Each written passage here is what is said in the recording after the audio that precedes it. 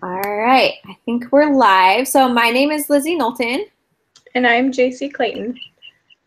And this is our Amazing Grace Google Hangout. Yep. All right, so we'll start with question one. What doctrine in Wilbur's heart drove him to advocate? Why is the doctrine of the family so important to have in your heart to be passionate and persistent? Um, I remember at, towards the beginning of the um, of the movie, he said he mentioned that God created all men equally. And I think that's a great doctrine that he had in his heart. Um, and I know that he truly believed that because um, uh, I'm reading my answer real quick. Sorry. No, that's so Oh, so he was really confused about whether he should do God's work or continue in politics. And the doctrine that men are all men are created equally is kind of what gave him that confusion. He didn't know what he should do.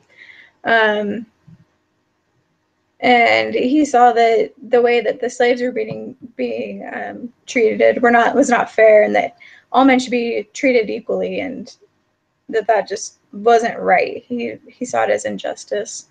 Um, I think also a doctrine that he had was God's love for children, for his children, um, and so that's why he's so passionate about the abolition of slavery, and um, he just knew that uh, of the love that God had for his fellow men, and he felt that love as well. Um, yeah. Do you have any anything? to- Those were most of the ones that I thought of. I mean, clearly, like the the equality for all mankind was a Mhm. huge one.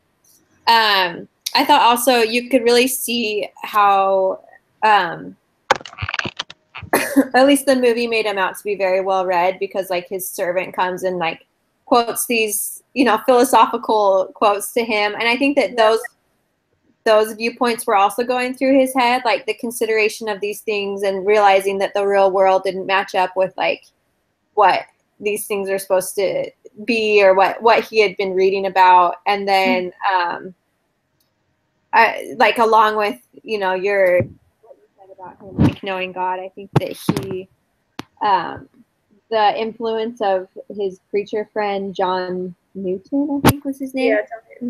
um, had had like a, a large effect on him. I actually looked up a little bit about William Wilberforce's life, Mhm. and he was really only in contact with that preacher for about like two years. He was living with his family and then was shipped off to a wealthy aunt and, un- aunt and uncle for two years and then brought back home.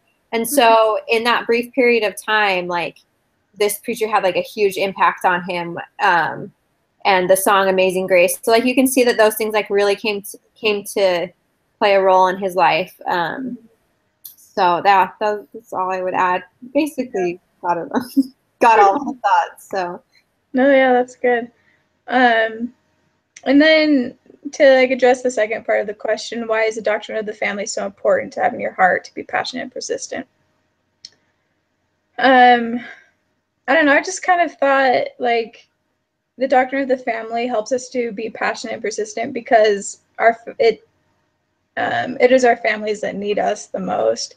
And so when we have those our children depending on us, we want to continue uh, pushing forward and stay motivated in um, in in pushing for their rights and for their safety and their um, you know just their um, ability to uh, have like you know have their childhood and have their family. Um, and that goes along with any family you know uh, that we are advocating for so that was just a little thought i had do you have any thoughts on that second part yeah, so um, I kind of tied it into the passion that William Wilber- Wilberforce had for his cause. Um, There's a phrase that Tolkien, J.R. Tolkien uses. Um, sorry, I'm nerdy, but this is to explain um, how the elves fought this battle that they knew that they were going to lose, and it was called the Long Defeat. And I feel like um, when William Wilberforce entered into the abolition movement, that's kind of how a lot of people viewed it, and including himself, I think to an extent. Like he had a hope that he could change it, but like he realized that it was going to be like a really long, drawn out battle. Um, mm-hmm.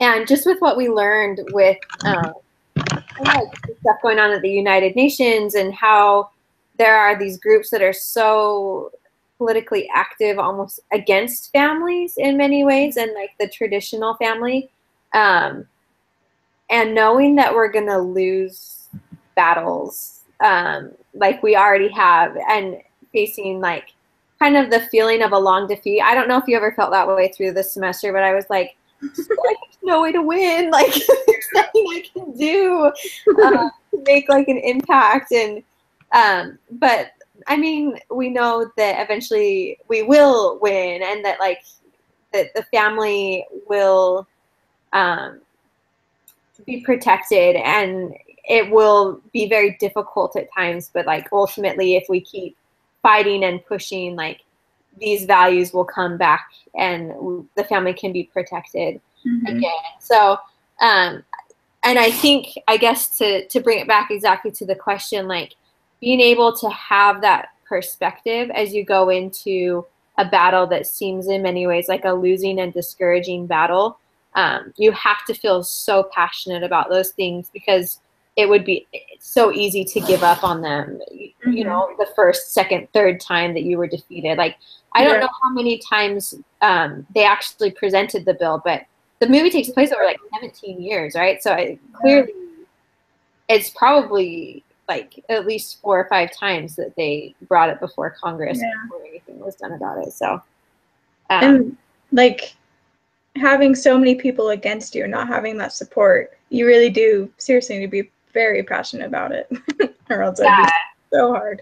Yeah, and being able to make it a cause that other people are passionate about as well. Like we saw that through the movie, like they were able to bring their passion to the masses that first time that they presented the bill where people started like striking on sugar and wearing yeah. pins and reading Equiano's book. And, um, I, you know, I, I, think back to our persuasive um, writing assignment, and I chose a threat that I was interested in, but I had not really had any personal experience with. Mm-hmm. And it was really hard for me to write that paper because I was like, I don't know how to make this. Like, yeah, that's you know, like it's a, it's interesting, and I feel that it's a threat, but like I don't know how to like present it to people, and I think that that would, you know, like that my paper was less effective in that way, and so it's something that you have to like really feel passionate and be able to like bring that to the other people. Yeah. Yeah, great points. Cool. All right. So we'll move on to question number two. How did um, William employ a theoretical um, Bronfen, Bronfenbrenner approach to become a more effective advocate? Identify at least one thing in each system and be specific.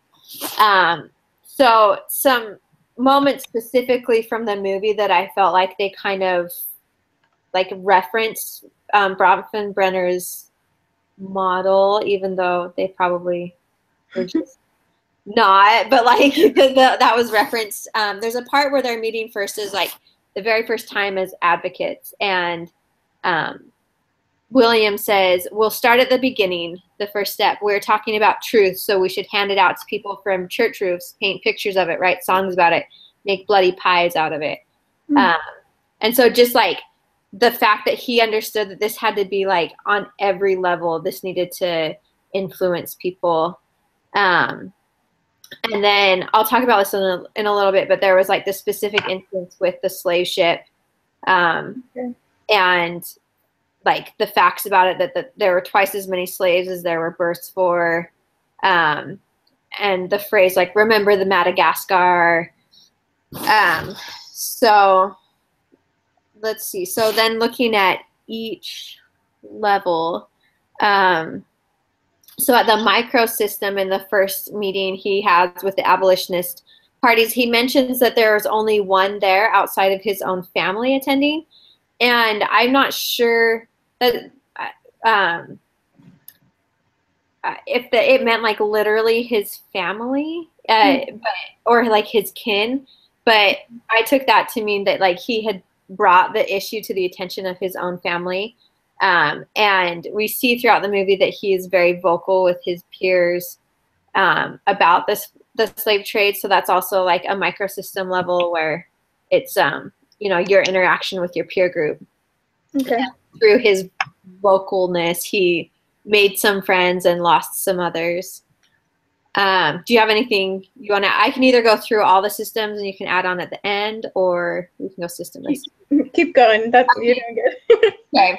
All right. Um, so then at the meso system, I felt like we see that William is very successful in bringing up the issue in his workplace, the Parliament, um, in the House of Commons. Um, mm-hmm the issue was received by all the members very differently. Um, some pledging to support the support the cause, while other pledged to be against him. But there's little doubt that he got the issue being talked about, um, where it wasn't being talked about before. Um, and as I mentioned earlier, we don't know how many times he had to push his bill, but we know it's something that he had to bring up multiple times mm-hmm. uh, and continually rouse interest in order to be talked about at that level.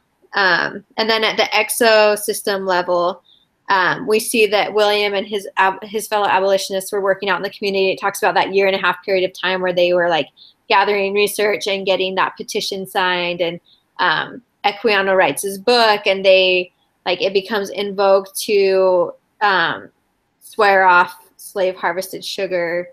Um, so they made the topic more generally available to the community's mind.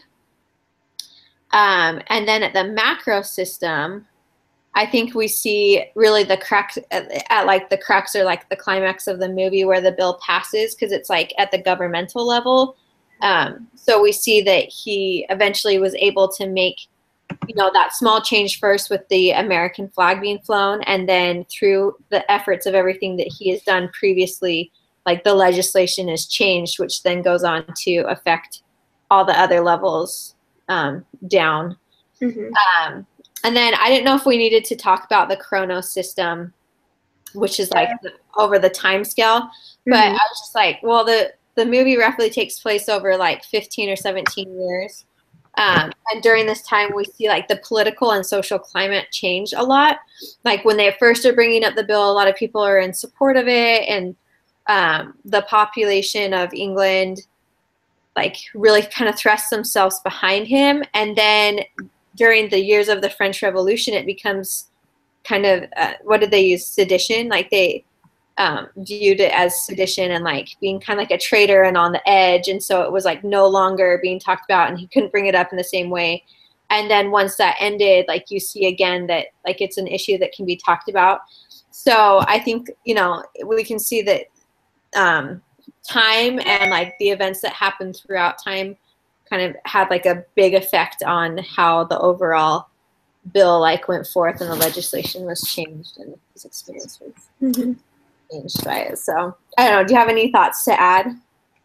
Um, no. I thought that was really good. Like I, I can you know like after what you said, I can you know see the bigger picture better um, you know, like from how it started small and then it got bigger, especially once the bill was passed. So that definitely cleared it up for me. I don't know why, but I just couldn't like, um, I don't know, get that through my head. Like, I don't know, how could you do in the microsystem? Yeah, yeah, well, that makes sense. Yeah, so that's just what I got from like the little. I was looking at the diagram and I was like, well, how could it possibly affect? Like, what what did he do that affected like this little level? Yeah. You know, so it was yeah. Yeah, but I like that all of those points made. I think definitely fit in with each of those systems. So that was good. Um, so the next question, how did Wilbur and his fellow advocates do and share their research? What evidence did they provide to persuade those opposing um, opposing or on the fence?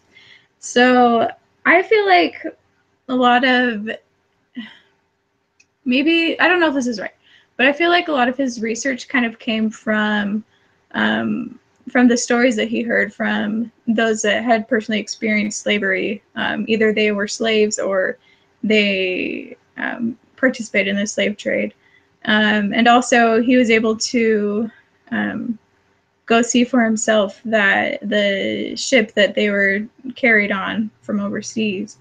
Um, so they're able to get their research from actual primary resources and, um, you know, get um, their information from the actual source that it came from. Um, what did you think? How did what did you say about that one?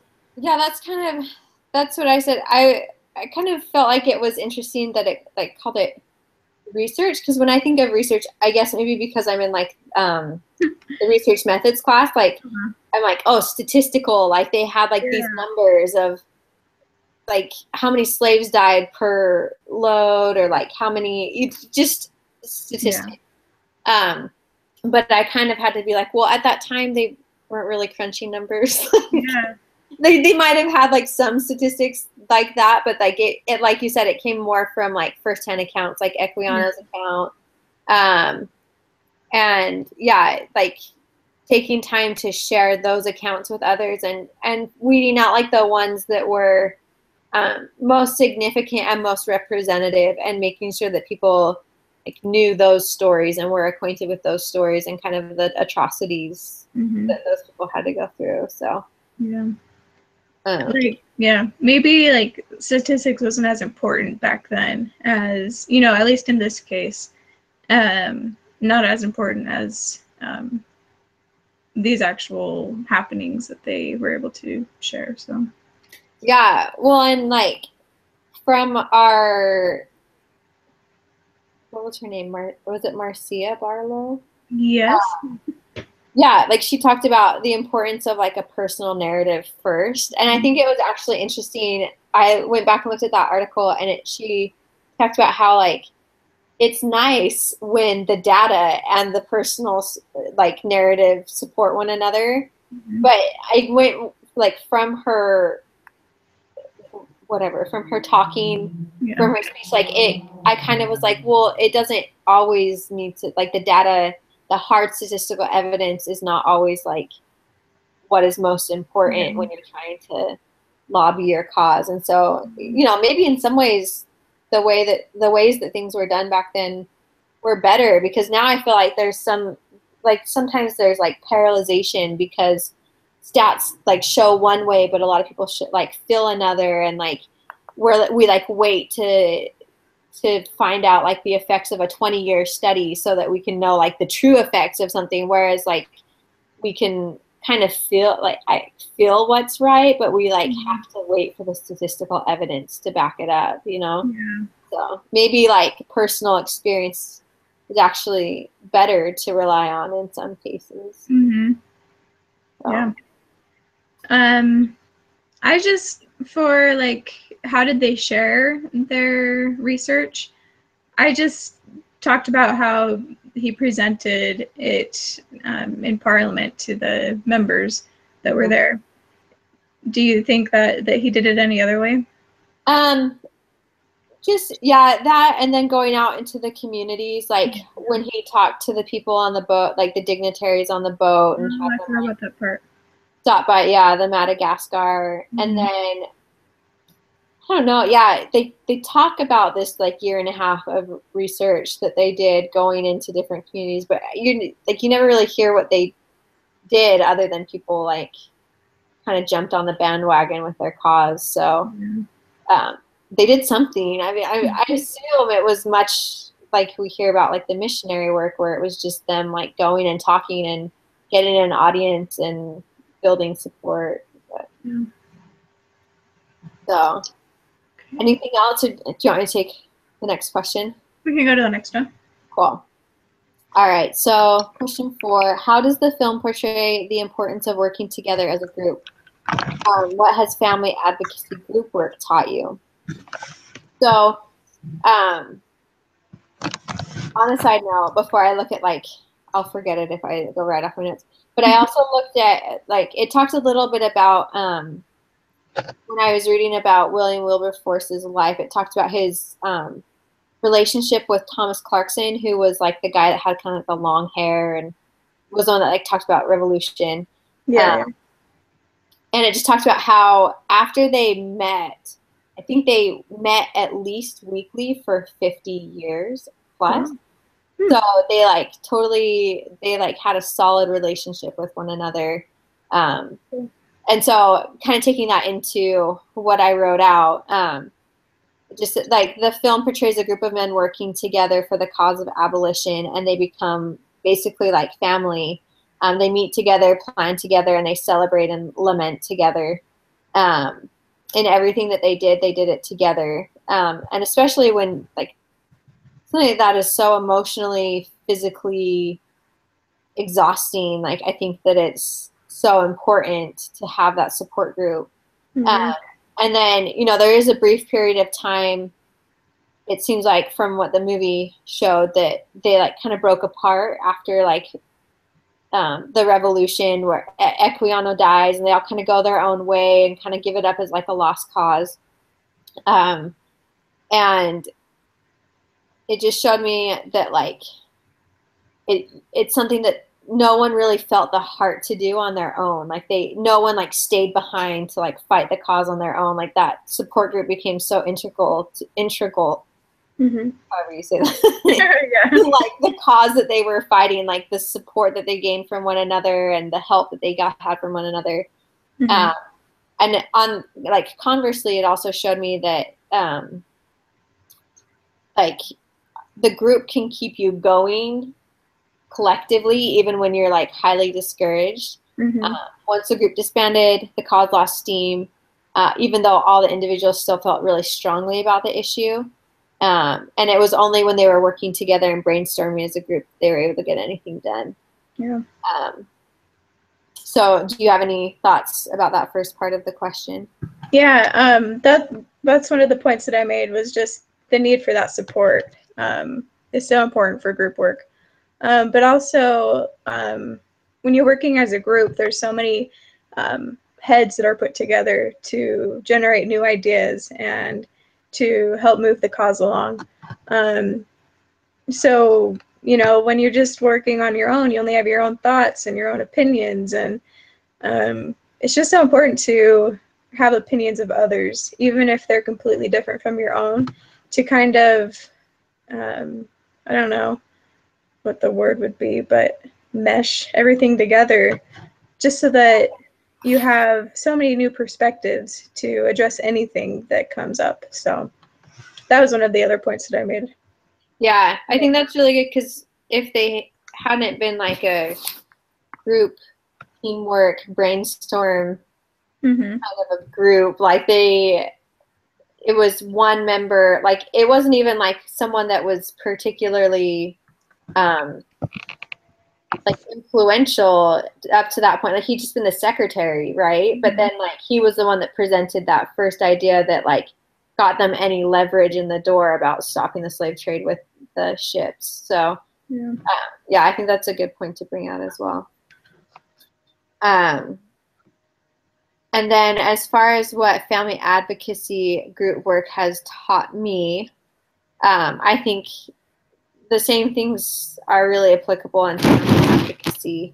Um, you know, there's too much going on at any one time for just one person to hold down the fort. Like mm-hmm. they talked about how at the UN, like there were different people that were allowed into different rooms at the conference, and that like some got some information and some got another, and then they would like combine. And then there were some people like writing up these documents to give to the dignitaries so that they understood. And then there were the other people that were meeting with the dignitaries and there's just like so and like things are changing so quickly that it was it literally would have been impossible to make the same impact as just one person. Mm-hmm. um, let's see if i put anything else down. Yeah that's that's kind of the main thing that i gleaned. Did you have anything? Um yeah, that's basically what I said too. Um, but I also added, or as you were talking, I was thinking like, um, throughout the semester, I've had lots of group work assignments, and you have people that are counting on you, so you can't just be like, oh, I don't care what my grade ends up as, you know, I'll just, I'll just do as the minimum. Um, when you have others counting on you, you feel more, um, I guess, obligated or you know, you just feel the need to do your best and to keep going and to be there for the group. So that's that just kind of came up um, as you were talking. Um, and then also, what did I write? Hang on. oh, I basically I was just saying um, we've already mentioned it, but it's just so much easier to stay motivated and positive and to stay positive when you have others that are there to support you and to help you and that you know they're in the same stage as you so that's basically what i wrote. Cool. all right number five. What parallels did you see between wilbur and captain moroni in alma 46 uh, what is a christian and a professional family advocate and how did wilbur exemplify that how can you be effective and Christ-like against such loud and often degrading voices? So um, I just noticed that Wilbur always stood for what he believed, and he rallied the people to defend their beliefs as well, just as Moroni did. Um, and he he set out for the people exactly what he believed in, just as Moroni did also. Um, you know, on the title liberty. Um, Sorry, my throat's getting all dry. um, but he said, like, in memory of our family and our children and our wives, or liberty. I can't remember what all it was on there, but um, he laid out what he believed in. And uh, in all the bills that Wilbur presented, he did the same, and in all of his speeches and whatnot. Um, and then I Oh, do you want to add to any of that? Um, those those were all very good points. I liked that you brought up how they both laid out what they believed in. Mm-hmm. Um, I also thought that it was interesting that both men were um, they didn't seek after their position for sure with Captain Moroni. I don't know how much will like William Wilberforce did or did not seek. The movie made it seem like he was asked into the position. Yeah. Uh, so like it it was not a position of power that they sought, but that they took on because they felt like really passionate about the because mm-hmm. um, and they were both um, leaders during social and political transitions of many years. Um, and both men's work ultimately led to more peace. Mm-hmm. Uh, and then just the fact that they were both advocates, like offensive, offensive in the terms of like they were going forward in the battle. Yeah, yeah. not, not, like offensive. Um, yeah. but that they they were on the attack and they they didn't take a defensive view of their topics. They like made sure that they were doing everything that they could to be one step ahead. Okay. Um, yeah, I like I like how you kind of tied in how um, I don't know, like their backgrounds and their positions were very similar to one another. That was cool. Um, so, what is a Christian and professional family advocate? So, I basically just uh, think that a Christian and professional advocate is one that fights for um, fights doing God's work, but doesn't necessarily bring religion into his research and speeches. Um, he he he advocates using um, God's doctrine and whatnot, but he applies it, um, I guess, in a world not worldly way, but you know, in a secular way. Um, and I think that he exemplified that by using his religion to guide him in his political work. Um, but when he spoke uh, in Parliament, he was able to keep his language political. And yes, he believed in God, but he never brought him into the, the political discussion. So that's what I thought. Um, yeah, I really loved the quote at the end by Lord Charles Fox when he says, um, a long quote, but it's really good. So I'm just gonna read it all. It says, "When people speak of great men, they think of men like Napoleon, men of violence. Rarely do they think of peaceful men. But con- contrast the reception they will receive when they return home from their battles. Napoleon will arrive in pomp and power, a man who has achieved the very summit of earthly ambition, and yet his dreams will be haunted by the impressions of war.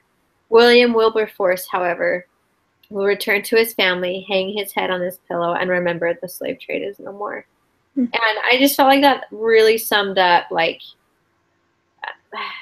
like a Christian and a professional family advocate in that like um, we don't fight our wars and like um, like aim to take people down through degradation or um, like ripping them apart like personally or sorry just a second. I packed them in his suitcase. Um sorry, we're getting ready to leave. So my husband to leave. Um so I yeah, I just think that like being able to look back on your own um, actions and feeling peace about them and not feeling embarrassed or haunted by like what you did to a person like totally ripping them apart mm-hmm. or um, i just think that um, i just like how it says in the beginning like when they speak of great men they think of men of violence rarely do they think of men of peace but like we know that there were some of you know there have been peaceful men that have made uh, really really important impact in the world um, but they aren't typically the ones we think of first. But they have they still have great power and they have more peace peace of conscience. I think at the end mm-hmm. of the mm-hmm. day, and you know I think that they're blessed by God to more in their endeavors. Mm-hmm. They strive to uphold His values. So yeah, cool. Um, what was the next? How can you be effective and Christ-like against such loud and often degraded, vo- degrading voices?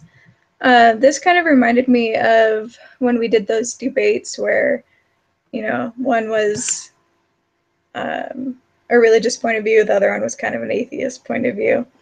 Um, and that taught me how important it is to be knowledgeable on both sides and to just do the best that you can to understand um, where both sides are coming from. And I think he kind of did that, especially um, with uh, with his um, you know research on all of those stories that he received from people who were um, part of the slave trade.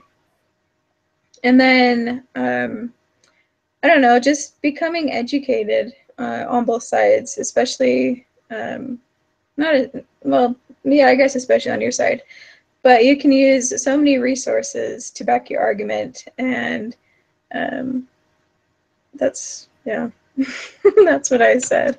Yeah, I like that. Um, I think it is super important to be educated on both sides. Um, some thoughts that I had kind of going along with that were um, I really liked, I think it was in the Common Core lesson where it talked about how, um, like, one of the people that opposed Common Core was like, I believe that he's acting out of the best intentions for people.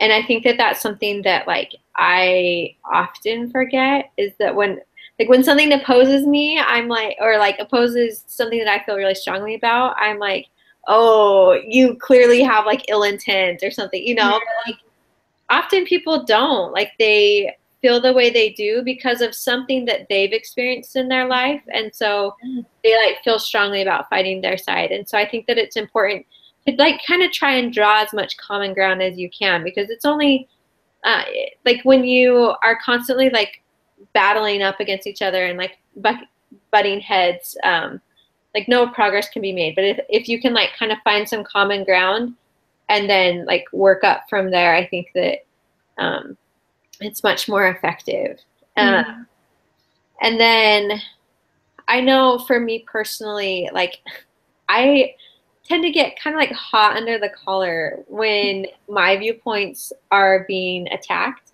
um, because clearly i'm right like yeah. I, like I, I I don't know. I just it it is like very personal to me. And mm-hmm. so I think that um remembering that the attacks aren't a like aren't necessarily personal attacks. They're attacks against like a, an idea or a viewpoint. Most yeah. I mean sometimes they are personal.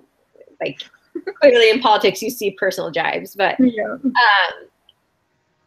there and then just remembering that even if I do feel like personally attacked, um, the savior never really like acted he didn't act out of um, anger or revenge like when he was upset he acted out of like righteous injustice and indignation mm-hmm. and so i think that there are there are times and probably well there will be times that like that will come up that there will just be something that blatantly you're like no like that is not correct that's not okay but for the most part, like going about it in a civil manner and just remembering keep your head and like saying a little prayer or something to help you like keep your cool. I think that for me is how I can be a more effective um, advocate.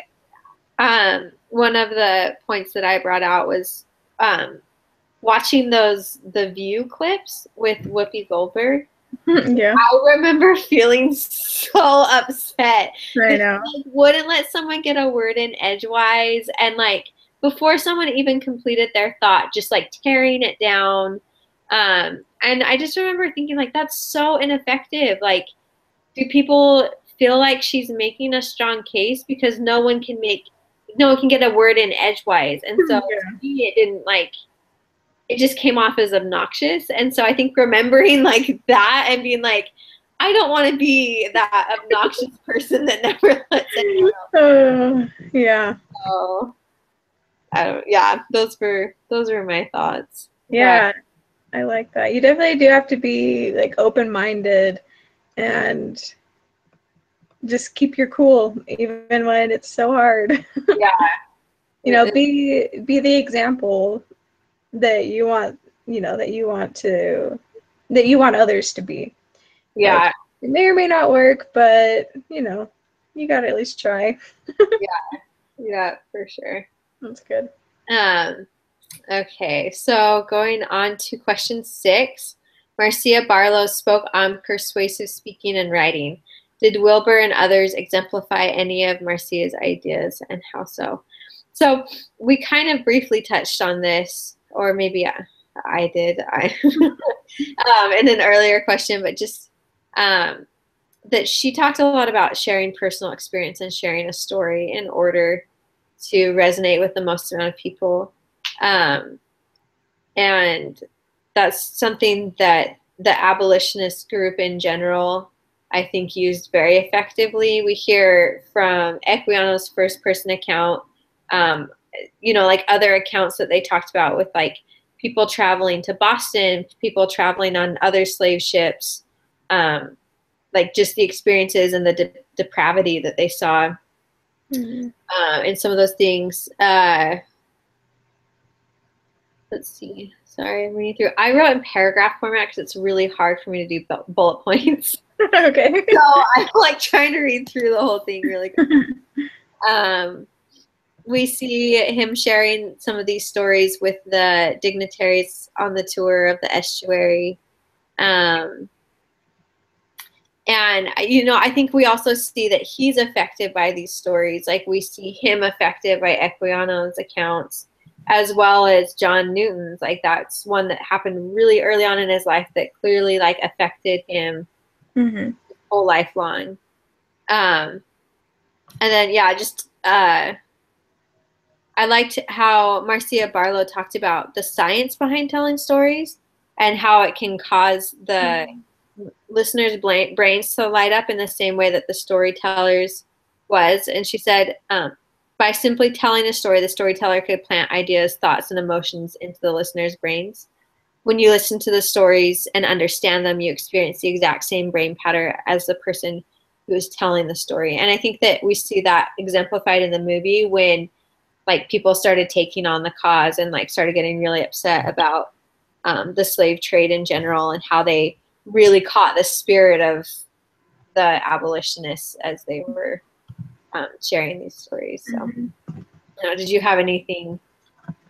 Yeah, um, just quickly. I mean, you kind of said everything that I kind of wrote down, but I like how he went and got John Newton's story because he was a slave trader. Um, and so he had that. I feel like that was kind of the story of us, you know, um, because he can connect to uh, the people that were against the abolition. Uh, he has, you know, a personal account of it. So that's all that I really wanted to add. I, I just I like that he was a part of that whole story. Yeah. Yeah. I liked how often they brought him in and like how he was also so driven. Mm-hmm. Yeah, he yeah. was story. He was a cool one. Yeah. Uh, what role did the government, policy, and religious freedom play in the fight to play in the fight of the slave trade? Did you see their political system being pro-family wire or not? So I saw um, government um, as what role? Wait, did I even write, answer that correctly? Hang on a second. what role did the government? Okay, so I thought that government um, played a role kind of in allowing the issue to be voted upon. Um, because the members of Parliament were able to vote for or against the abolition of the state slave trade. Um, so that's what I said for government. Policy, I wasn't quite sure. I didn't answer that one. Did you? Yeah, well, sort of. I kind of treated government and policies the same because I feel like we, yeah, they were like treated the same in the movie. Uh, yeah. Like, they didn't explain I know a little bit about how Parliament is set up, but not enough to be able to distinguish like government from policy. Yeah, I know. So, um, let me look through really quickly and see if there if I mentioned anything specifically. Um, yeah, kind of just like the whole movie takes place in Parliament, so it's clear that like the government had like a big role in what we see come to pass. Um, yeah, I I just put I wasn't exactly sure how policy came to play out, other than the first step that the abolitionist group used was a policy change in mm-hmm. the American flags being flown on the ships. Um, mm-hmm. So clearly, like small changes in policy can lead to like bigger changes in legislation. So mm-hmm. I didn't really have a clear answer. That's all right.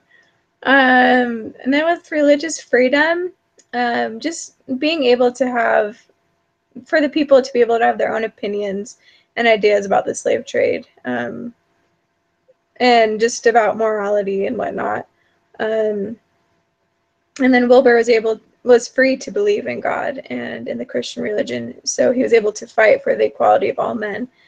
Um, i just shortly yeah, that, i think that was one of the big roles that, real, that re- religious freedom played was just being able to have your own ideas about what is right and what is wrong. Yeah.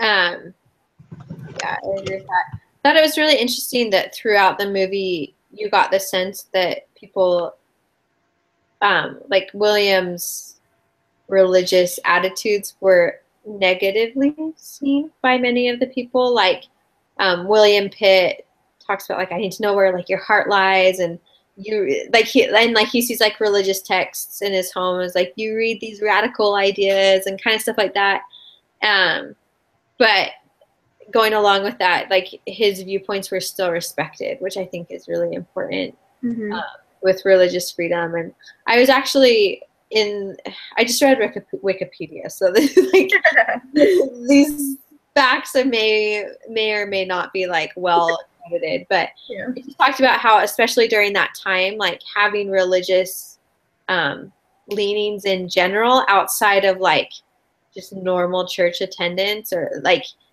having them play like a part and being like I guess viewed a little bit more as a zealot was like actually a very negative thing. And mm-hmm. so I think that even more goes to show how important religious freedom was in this, uh, to whatever extent it played. You know, I don't know how, uh, like, religiously free England actually was, because they have like the Anglican Church. Yeah. I, I don't know, like, I, I don't know all the, like, that that but kind of like in the, in the, context of the religious freedom that was there, it was very important for the yeah the, the legislation. So yeah. All right. Um, did you see their political system as pro-family? So I put yes and no. I put like, yeah. yeah. I know that's a really wishy-washy answer. Maybe what did you think? I said yes, but I wasn't really sure. Yeah. I, I just I mean, I don't know, just because of the way that it was set up so that it wasn't like a dictatorship, you know, they were able to to ha- vote and to, you know, have the voice heard. So, I didn't really know. That's yeah, I- that's kind of what I put and the fact that like one of the biggest um arguments used against the abolition of slave trade was how it would affect the people of England and that like especially like in the port cities, like families would be bankrupted and like families yeah. would have work and it would just like be this huge economical um, crisis. So I thought that that was, I mean, to me, I was like, well, it shows that they're like concerned about the families, maybe ostensibly. I don't know, like probably yeah. ulterior motives behind it, but um, that they they thought about their citizens rather than just themselves. Mm-hmm. Um, and then I put like clearly they were anti-family in some aspects because they didn't consider like the family of the slave um because i mean because they didn't view them as people so they viewed them as property and um yeah. so you know hopefully with the passing of the anti-slave trade it became more pro-family mm-hmm. that, yeah i didn't i was like maybe I, like yeah so I wasn't sure either. All right. Anything else on that question? No, yeah, I'll go ahead and go on to number eight. Okay. So, um, do you feel that Wilbur used his time on earth well? How do you see him showing the elements of consecration that Elder Christofferson spoke of? So, I felt like most people would feel like Wilbur was pretty effective with his use of time. Um, he was clearly a conscientious person who worked hard to make a change um, for the better, which I think anyone would laud as um, um, like a positive thing. Mm-hmm. Uh, and at the, the close of the movie, it says William Wilberforce continued to battle injustices for the rest of his life. He transformed the hearts and minds of his countrymen on education, healthcare, and prison reform to accomplish his second great uh, dream, making a better world. So I just think that like anyone that dreams of making a better world and like does it in context of like also aligning their views with God, I think has made a positive impact. Yeah. Um, do you have anything to add? yeah, that's that was a lot of my thoughts as well. Um, and also he was just so unselfish. And he spent hardly any time on himself. It was always advocating for others. Um, and he did like lots of hard things that most other people would rather not do. But he was, you know, persistent and he kept going. And I like how at the end it included that he continued to fight for um, those injustices. So, yeah. Yeah. Um, and then as far as um, the elements of consecration that Christofferson, Elder Christofferson spoke of. So I really liked the quote at like the beginning of the talk, like the little summation quote that they put. Mm-hmm. It says, "True success in this life comes in consecrating our lives. That is our time and choices to God's purposes." I think that that like really um, sums up his life. Mm-hmm. Um, mm-hmm. And then I wasn't sure so there was like a part where he mentions like five specific elements of a consecrated life purity, work, respect for one's physical body, service, and integrity. Mm-hmm. So I talked a little bit about each one of those, and we we can or cannot go into those. I, I don't know. Do you? I don't care. what do you want to do? We all hit him up really quickly. So Okay. I, you know, like purity. Um, so he changed. It shows us that he changed like many aspects of his his life when he became a more religious man. Like he stopped going to the cards, the card Mhm. games and stuff. Um, so I think it shows that he was pure. Um, he clearly worked hard. Like he, his health suffered for how hard he worked. Um, and while the hard work that he did did a toll on his physical body and caused him to have, well, I, I think it seems like it caused him to have colitis. Yeah. Um, he was really reluctant to take um, the opium or the opiates for medication to deal his pain. And then even when he did, like he swore off of them for his child. And so I think it shows that he like knew that his mental faculties weren't completely there and like Mhm. wanted that was an important thing to him. Um, he gave service. I mean, he served, like you said, like he was really unselfish. Um, and then in integrity, um, obviously, it was not really easy to stick by the choice to live both a religious life and a political life. Mhm. Um, I think it would have been easy to kind of separate those things out and be like, well, I feel about this this personally, but like just too hard to, to do anything about it in Congress. And so think it shows that he was he had he had a lot of integrity. So Yeah. Hmm, I don't know. Do, would you like to add anything? Sorry. Yeah. Um, I just found like three quotes that I thought really really applied to Wilbur. Um, first was we ought to recognize that all honest work is the work of God. The next one is therefore glorify God in your body, in your spirit, and in your spirit, which are God's. And that one's from Corinthians 6. And then a consecrated life is a life of service. Um, I just feel like uh, especially with the second one, um, glorify God in your body and in your spirit.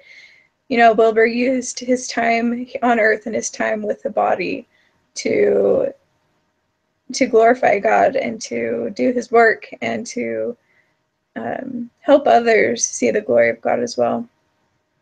And then, of course, he served so much throughout his life, and um, he was very honest in Yeah. the things that he did. Um, and he was he he never really deceived anybody, which I thought was really cool. So go. well, I really liked your thought on the second point, glorifying God with his body. hmm Thanks. Okay, the next one. Any other profound thoughts or personal insights from the movie that are related to child and family advocacy? So this one, I don't know. There were a couple times when I like laughed during the movie because there were just some kind of silly parts, you know. So I just thought having a sense of humor is kind of important because sometimes it can just get really serious and tight, and may, that may cause things to get out of hand. So and when things are so stressful, um, just a humorous element can sometimes just be the healthy touch that's needed uh, for those that are involved in it. That was just kind of a little thought that I had. And then um, I feel like I've talked about this a lot, but I just really liked the advice that he received from others. Um, and it's important to be open minded and learn as much as you can from the resources that you have. And he is the wisdom to, the wisdom of others to enhance his position and his arguments. So there's just some other thoughts that I had. What about you? I like those. I I actually wrote like I didn't really have any other profound thoughts. I was like, I feel like I've been like so like thinking about these big themes already that like I didn't really have many more original thoughts of my own that I hadn't already expressed. no, that's fine. I say, I guess like the one thing that I said was that I felt like the movie was very encouraging in that it showed that um, you could make a difference as one person when you're striving to fulfill your God given role and Yeah. responsibility to the best of your abilities. Because, like I said before, like there have been times in this class where I am like, I can't do anything to change these things. I know it's it's scary. yeah and it's like kind of overwhelming and so i just felt like this this movie was like a great reminder that like you can like you you are put in the position where you can make your impact you know so Yeah. i guess that would be the only other profound thought that i Yeah. It's all worth it. um so what was your understanding of the doctrine of the family at the beginning of the semester and how has it changed um so this is my last semester i'm graduating and so i felt like my doctrine of the family understanding was you know hopefully pretty complete and like down packed okay. Um and so i felt like as in terms of like actual knowledge gained about the doctrine of the family um there wasn't a lot that i learned however i felt like i learned a lot about um, the climate of the family. Um, they're directly across their floor up. Directly across from us, you can see their window. I don't know what apartment number. Sorry. Um, and so I felt like um, before this class, uh, to use the phrase from the scriptures, I was kind of someone that was like, "Oh, all is well in Zion." Like everything's gonna work out. Like it's not, you know, it's not like there's been some hits and some dings, but ultimately, like everything is okay. And um, I think that this class, as far as the doctrine of the family went, taught me a lot that like there is a lot of work that needs to be done to Yeah. um, defend the family. And um, I feel like somewhat inadequate to do it and and knowing what I know now about the family, like I still feel like I don't know enough, but I feel like I know um, the basics. I don't feel like I know enough to be a really um, effective advocate. Like I can't pull out stats and I can't pull out like all these things, but I feel like I have an understanding of the importance of family, which is like enough to maybe make an initial impact in my little sphere of being a mom. And you know like interacting with other moms who may feel similarly or like be looking for some direction. And then you know as time goes on just being like more involved and being a better advocate. So that's that was kind of how i took the Mhm. question that i changed from being like a it's all okay to like okay we need to i need to kind of step up Yeah. I I feel like I can connect with you a lot and I'm in my I graduate next semester, but I've finished like all of my required courses and all my religion courses. So I kind of felt like, oh, I know a lot about the doctrine of the family. But something that I uh, really learned was that the family isn't only central to God's plan, but it's also central to um, society. Uh, we need strong families in society, and I never really realized how important families were to um, to a uh, gosh, I just lost what I was saying. But you know, just how important families are in the world. Um, they are what keep us keep us going, and they're what um, help us to know what we need to continue doing uh, for the children and for mothers and fathers. So that was something that I uh, really took from this class was just how important uh, it is to raise families that um, can bring good to the world. So, yeah, especially strong families. Yes. so that was that. um, is that all? Yeah. Um, so picture your spouse and children, current or future, and write down some thoughts you know, or thoughts about how they will benefit from you taking this class. So I'm married, I don't have kids yet, but I was just kind of thinking that by me being in this class, I learned to be an advocate, or I've learned to be an advocate, and I've learned to stand up for my beliefs even when it's hard. So I kind of hope that by me learning to do these things, it'll I'll teach my family to do those, and then they will become advocates, and it'll just kind of become a cycle throughout my family. um, where we just learn from one another and become examples for one another. Um, oh, and just also learning more about the doctrine of the family. I'll be more proactive in that and teaching them about the importance of the family, especially in God's plan. Um, yeah. Oh, and then I also was like, I just hope to really just be a good influence and example of my on my family, and to help them through difficult times, just through the things that I've learned through this class.